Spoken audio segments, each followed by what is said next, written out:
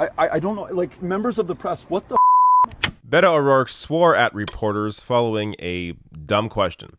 Now, this uh, happened in a response to the uh, mass shooting that took place in his former district of El Paso, where he was a congressman.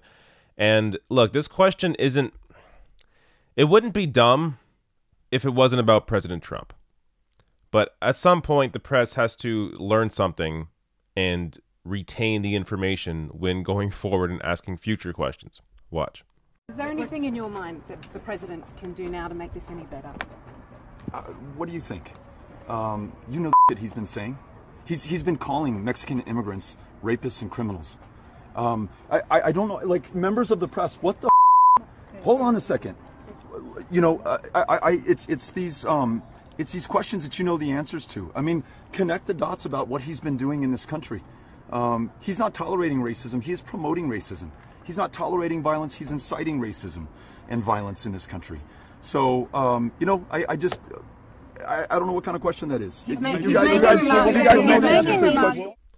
All right. Now, Beto's reaction here, uh, again, if it's authentic, I think it is authentic. I have an issue telling when Beto's being authentic and when he isn't.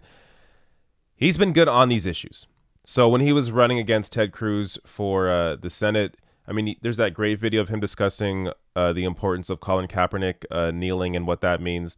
Uh, I think on these sorts of issues, Beto is uh, is solid, and I think his anger here is real. Look, these questions would make sense if the, if the president was anybody else, but at what point does the press just learn and absorb the fact that Donald Trump is racist, that he emboldens white supremacy, that that he encourages this sort of behavior. So, it, like it's uh, it, it's hard to really understand why the press is even acting this way. I mean, this is something that should be obvious that they themselves, many of them, have been reporting on up till now. Uh, like it's it's these kinds of questions don't make a lot of sense because this is not a president that will do anything to react to any of this. And just to go a little more into the actual policy of what Trump could be doing but hasn't, this from The Atlantic. The Anti Defamation League recently reported that right wing extremists were linked to more murders in the U.S., at least 50 in 2018, than in any other year since 1995, when Timothy McVeigh bombed an Oklahoma City federal building.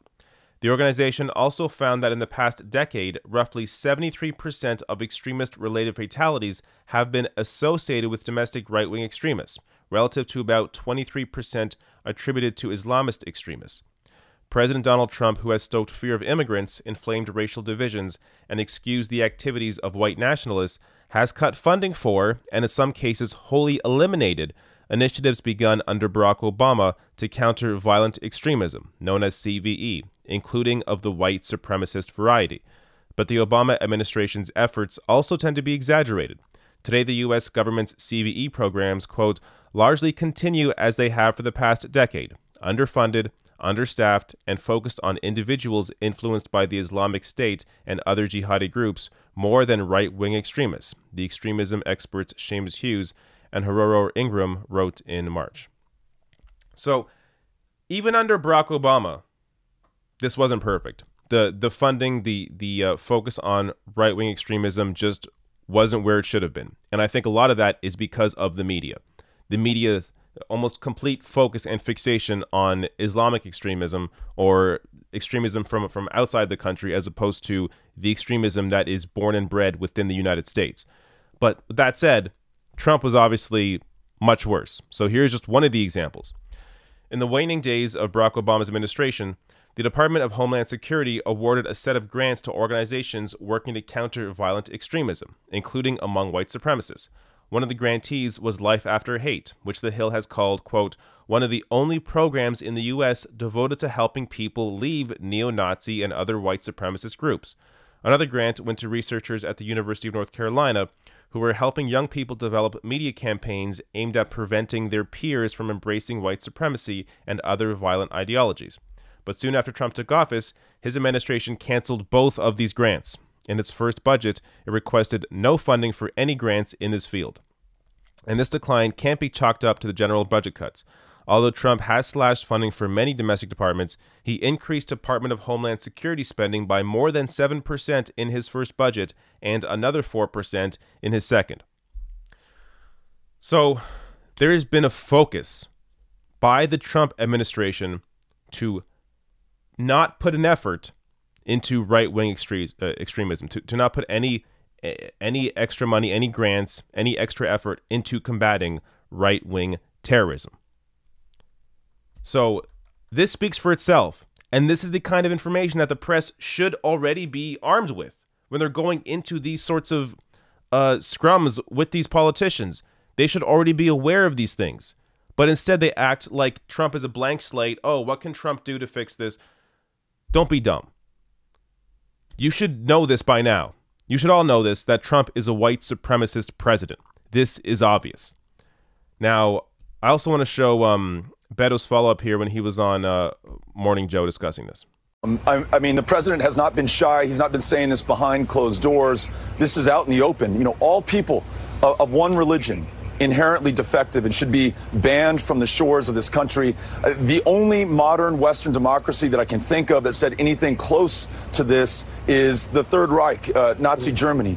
Um, talking about human beings as though they are animals, making them subhuman to make it okay to put their kids in cages. We, we've lost seven children in our custody just over the last year in this, the wealthiest, the most powerful country on the face of the planet, saying that he wants more immigrants like those from Nordic countries, the whitest places on the face uh, of the planet. Um, this president, his his open is also an invitation to violence. We've seen a rise in hate crimes every single one of the last three years. So, Joe, you're, you're absolutely right. The writing has been on the wall since his maiden speech coming down that escalator describing That's Mexican right. immigrants as rapists and criminals. Uh, the, the, actions that follow cannot surprise us. And, and anyone who is surprised um, is, is part of this problem right now, including members of the media who ask, hey, Beto, do you think the president is racist? Well, Jesus Christ, of course he's racist. He's been racist from day one, before day one,